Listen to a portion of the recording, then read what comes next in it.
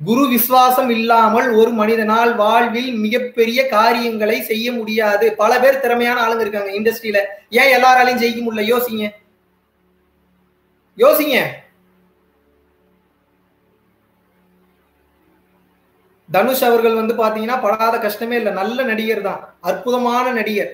ஆனா ஒரு குறிப்பிட்ட காலகட்டம் வரைக்கும் அவ்வளோ ஸ்ட்ரகிள்ஸ் அவர் லைஃப்லயே சினிமா வாழ்க்கையில. விஐபிக்கு வந்த பிரச்சனை மற்ற பிரச்சனைகள் மற்ற பொருளாதார பிரச்சனைகள் ஆனா ஒரு கட்டத்துக்கு மேல சி- மிகப்பெரிய சிவபக்தனா மாறிட்டாரு. அந்த சிவபக்தனா மாறி பைத்தியரத்தன தனுஷ் அவரை மாதிரிலாம் நோ சான்ஸ் நோ வே அப்படி இருக்கும் அதாவது உண்மைத்தன்மை அதெல்லாம் விட்டுருங்க. அதெல்லாம் செகண்டரி இவருடைய மனசுக்குள்ள அந்த சிவன் வந்துட்டான். சிவனுக்காக அந்த அர்ப்பணிப்பு வந்துருச்சுனாவே இன்னைக்கு அவர் நிலைமை எங்க இருக்கு? ஹாலிவுட் லெவலுக்கு நடிக்க போயிட்டேன் இப்ப என்ன அர்த்தம் திறமை மட்டும் இருந்தால் போதாது. தெய்வத்தின் அனுகிரகம் என்பது தேவை. தெய்வத்தின் அனுகிரகம் இல்லை என்றால் நூறு சதவீதம் உங்களால் பெரிய வேலைகளெல்லாம் பண்ணவே முடியாது. சின்ன சின்ன வேலையை ஏதாவது பண்ணிட்டு இருக்கலாம். பெரிய பெரிய விஷயத்தெல்லாம் பண்ணவே முடியாது.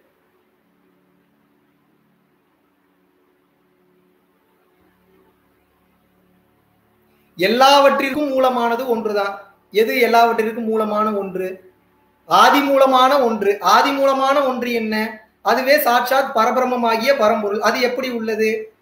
அருட்பெருஞ்சோதி வடிவில் உள்ளது. அந்த அருட்பெருஞ்சோதி வடிவே நான் பார்த்துட்டேன்னா என்ன நடக்கும்? அடுத்த கேள்வி இந்த மெடிடேஷன்லாம் பண்ணும்போது எனக்கு என்னென்ன நடக்கும்? கேட்கறது தானே. எல்லாத்துக்கும் ஒரு ஆசை இருக்கும் தானே பல வீடியோ போட்டே இருந்தாலும் பேசுவோம். கேட்கறதுனால பேசுவோம். மெடிடேஷன் பண்ணீங்கன்னா இதுதான் பெனிஃபிட்ஸ்லாம் விவரிக்கவே முடியாது. அவ்வளோ விஷயம் இருக்கு. கடலுக்குள்ள இறங்குனீங்கன்னா எப்படி ஏகப்பட்ட விஷயம் நீங்க எக்ஸ்ப்ளோர் பண்றதுக்கு இருக்கோ இது கடலுக்குள்ள இல்லை அண்ட சராசரம். அவ்வளோ இருக்கு பாக்குறதுக்கு. அவ்வளோ இருக்கு உணர்றதுக்கு. அவ்வளோ இருக்கு வாங்குறதுக்கு. அவ்வளோ இருக்கு என்ஜாய் பண்றதுக்கு. அதை விட்டுட்டு இதுக்குள்ளேயே சுத்திட்டு இருந்தீங்கன்னா எப்படி அந்த நிலையை அடைவீங்க? யோசிங்க. எப்படி அந்த நிலையை இந்த தன்மையிலேயே வாழ்ந்து எப்படி அந்த நிலையை அடைவீங்க? இந்த காலகட்டத்திலும் உங்களுக்கு ஒரு வழியை தாங்க முடியல. புருஷன் பொண்டாட்டி பிரச்சனை அம்மா அப்பா பிரச்சனை சொத்து விவகாரம் அந்த விவகாரம் இந்த விவகாரம் குழந்தை பிரச்சனை. இவ்வளவு பஞ்சாயத்துக்களை அனுபவிக்கிறீங்க. இப்ப நான் இவ்வளவு நேரம் பேசுறதை கேட்டுட்டு கண்டுக்காம போய் நீங்க எங்கேயாவது படுத்துக்கிறீங்கன்னு வச்சுப்போம். உங்க வாட்டுக்கு உங்க வேலையை பாக்குறீங்க நீங்க வாட்டுக்கு உங்க வாழ்க்கையை வாழ்றீங்க. இப்படியே இருக்கீங்கன்னா ஒரு கட்டத்தை உயிர் போகும். போகாமலாம் இருக்காது. உங்களுக்கும் போகும் எனக்கும் போகும் எல்லாத்துக்கும் போகும். இந்த உயிரை போகாம தடுத்து வைக்கக்கூடிய ஆற்றல் தான் இந்த தவ பயிற்சி சாகா கலைன்னு சொல்றாங்க. கண்ணால பார்த்து பார்த்து பார்த்து பார்த்து பார்த்து பார்த்து ஏமாந்து போகாது அந்த ஜோதி வடிவாகிய அந்த சாட்சாத் பரம்பொருளை தனக்குள் ஒருவன் கண்டுவிட்டான் என்றால் வள்ளலார் என்ன தெரியுமா சொல்றாரு? அருட்பெருஞ்சோதியை ஒருவன் கண்டுவிட்டான் என்றால் அவன் செத்த பிணத்தை எழுப்ப வேண்டான் அவன் போத்தி இருக்கும் துண்டே எழுப்புங்கிறார். அப்படி துண்டு தூக்கி அப்படி மேலே போட்டாருன்னா எந்திரிச்சிருவான் நான் செத்தவன். எப்படி எந்திரிப்பான்? மேட்ரா தான் ஒவ்வொரு உடம்புக்குள்ளேயும் பத்து விதமான தசவாயுக்கள் இருக்கு. பத்து விதமான தசவாயுனா என்ன? இந்த அகத்தியன் பார்த்துருந்தீங்கன்னா தெரியாது மென்ஷன் பண்ணியிருந்தேன் பிராணன் அபானன் வியானன் உதானன் சமானன் கூர்மன் நாகன் தேவதத்தன் கிருகரன் தனஞ்சயன். பத்து விதமான தசவாயுக்கள்ல இந்த தனஞ்சயன்றதான் வேற லெவல் பேர் தான் ஒன்னா ஒவ்வொரு குறிப்பிட்ட பகுதிகளில் குறிப்பிட்ட வேலைகள் செய்யறதுனால பேர் வச்சிருக்காங்க. அதுவும் ஒரு குறிப்பிட்ட வாய் அந்த தனஞ்சயன் அப்படின்றத ரொம்ப ப்ராப்பரா எந்த வழியா வெளியே போச்சோ அதே வழியை இழுத்து வர தெரிஞ்சுன்னு வைங்க. அதான் ஞானம். அவன் செத்தவன் உயிர் பொழைச்சுப்பான். நான் சொல்லவில்லை வள்ளலார் சொல்கிறார்.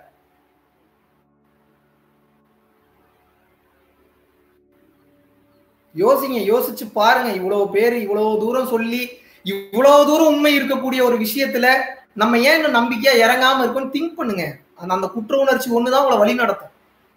ஏன் நம்ம இன்னும் பண்ணாம இருக்கோம்? என்ன காரணம்? எது நம்மளை மறைக்குது? உலகம் உண்மை நினைச்சு நம்ம ஏமாறுறோம். ஏன் நம்ம ஏமாறுறோம்? இது நம்மளை எங்க கொண்டு போகுது? எல்லாத்தையும் திங்க் பண்ணும். எல்லாத்தையும் திங்க் பண்ணும்.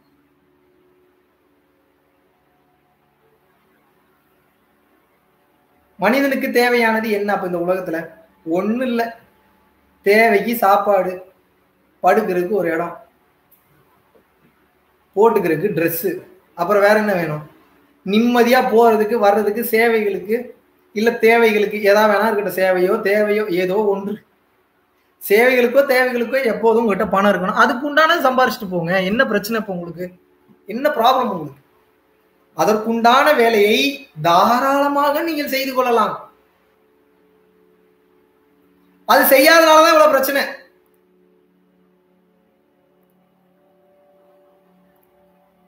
மனித வாழ்க்கையில் நீங்கள் பார்க்க வேண்டியது நிறைய இருக்கு. முட்டாள்தனமாக பார்ப்பது மட்டும்தான் நிஜம் நினைச்சு ஏமாறாதீங்க. சித்தர்கள் சொல்லிட்டு போனது அத்தனையும் உண்மை. நானும் ஒரு காலகட்டம் வரைக்கும் இப்படிதான் இருந்தேன். மிகப்பெரிய நாத்திகன் நாத்திகன் நாத்திகன்னா என்ன? கடவுள் மறுப்பாளர். அது எப்படி கடவுள்? அதெல்லாம் கடவுள்லாம் கிடையாது. அது என்ன விநாயகர்? அது என்ன சரஸ்வதி? அது என்ன முருகர்? அதெல்லாம் போய் இவங்களாம் நம்மளை ஏமாத்துறாங்க. இப்படியே தான் தெரிஞ்சுட்டு இருந்தேன். எல்லாத்துக்கும் எகைன்ஸ்டா பேசுறது ஆனா அந்த டைம்ல எனக்கு எப்படின்னா இந்த தேட்டருக்குலாம் போவேன். படத்துக்குலாம் போகும்போது ஒரு மாதிரி ஏதோ சாமி பாட்டெல்லாம் போட்டோன்னா ஒரு மாதிரி உடம்பு ஏதோ பண்ணு என்னடா இந்த பாட்டு கேட்டாலும் உடம்பு ஏதோ பண்ணுது அப்பவே டவுட் இருந்து இப்போ வர வர வர தான் தெரிஞ்சது. போன ஜென்மத்தோட தொடர்ச்சி. அப்போ ஒரு காலகட்டம் வரைக்கும் முழு நாத்தியனா இருக்கேன். எகைன்ஸ்டா பேசுறேன். கடவுள் மறுப்பாளனா இருக்கேன். நான் ஒன்றும் அவ்வளவு பெரிய ஆள் கிடையாதுன்னு வச்சுக்கோங்க.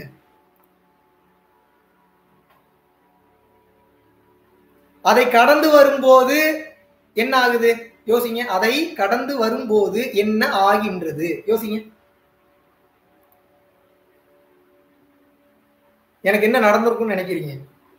மிகப்பெரிய கடவுள் மறுப்பாளனா இருந்தவன் என்கிட்ட என்ன ஒரு மிகப்பெரிய பிளஸ்ன்னு கேட்டீங்கன்னா லாஜிக்கா ஏதாவது சொன்னீங்கன்னா நான் ஏத்துப்பேன். அது ஆரம்பத்துல இருந்தே அந்த பழக்கம் இருக்கிறதுனால சில தேடல்கள் போகும்போது லாஜிக்கா பல விஷயம் சொல்ல வராங்க ஏத்துக்காம இருக்கவே முடியல என்னால. ஒண்ணு எனக்கு தெரியலன்னு சொல்லணும். தெரியலன்னு சொ சொல்லாம இல்ல அது தப்புன்னு எப்படி சொல்ல முடியும்? அதை பத்தி தெரிஞ்சுக்காம. யோசிங்க. எப்படி நான் அப்படி சொல்ல முடியும்? அப்படி நான் சொல்வதற்கு வாய்ப்பே இல்லையே.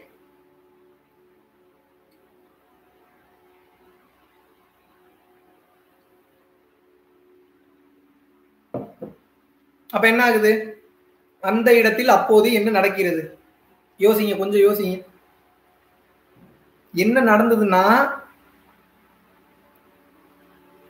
ஆரம்ப காலகட்டத்தில இருந்தே ஏன் நீங்க தெரிஞ்சுக்கணும்ல ஒருத்தனுக்கு எப்படி இவ்வளவு சின்ன வயசுல இவ்வளவு சீக்கிரம் எல்லாத்தையும் கொடுப்பாங்க? தோணுங்களா எல்லாத்துக்கும் தோன்றது சகஜம் தானே? சின்ன வயசுல இருந்தே எனக்கு ஒரு பழக்கம் இருக்கு. பெருமைக்கெல்லாம் சொல்லல நீங்களும் தெரிஞ்சுக்கணுன்றதுக்காக தான். எனக்கு எதனால இவ்வளவு சீக்கிரம் சூஸ் பண்ணாங்கன்றது நான் சொல்லல.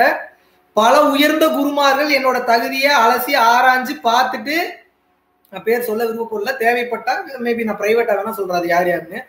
அவங்க இந்த இதனாலதான் உங்களுக்கு இது கிடைச்சிருக்குன்னாங்க. அதுல அவங்க சொல்றதுக்கு உண்டான மெயினான காரணம் என்னன்னா நான் சின்ன வயசுல இருந்தே பணம் கையில இருந்ததுன்னா எவ்வளவு நாள் எடுத்து எடுத்து கொடுத்துருக்கேன் நான். ரகுவரன் என்னோட நெருங்கிய நண்பர் ஒருத்தர் இருக்கிறார் திருப்பூர்ல. அவள்னு சொல்லிட்டு இந்த ஃபுட் ப்ராடக்ட்ஸ் எல்லாம் பண்ணிட்டு இருக்கிறாரு. அவர்கிட்ட கேட்டீங்கன்னா தெரியும் நீ அந்த காலத்திலேயே வாரி வாரி கொடுப்ப இப்ப சொல்லவா வேணும்பா? அப்படின்பாரு அப்பதான் நானே யோசிக்கிறேன் ஆமா இதெல்லாம் யோசிக்கும் போது தான் எனக்கே தெரிய வருது. அப்போ நம்ம வந்து நம்ம கிட்ட இருக்கக்கூடிய ஒரு விஷயத்த நமக்குன்னு எடுத்து வச்சுக்காம இன்னொருத்தங்களுக்குன்னு கொடுக்க வரும்போது இறைவனின் பார்வை நம்ம மேல படு படுது. அடுத்து அவங்க அப்படியே வாட்ச் பண்ண ஆரம்பிக்கிறாங்க. இவன் எவ்வளவு தூரம் போவான்? இதே மாதிரியே. கரெக்டா பண்ணுவானா? அவன் எதிர்பார்க்கறதுன்னா இவங்க கிட்ட ஏதாவது கொடுத்தோம்னா அதை கரெக்டா யூட்டிலைஸ் பண்றானான்னு தான் பாக்குறாங்க எல்லாருமே. ஒரே பிரச்சனை அதுதான். நீங்க யூட்டிலைஸ் பண்ண மாட்டீங்க.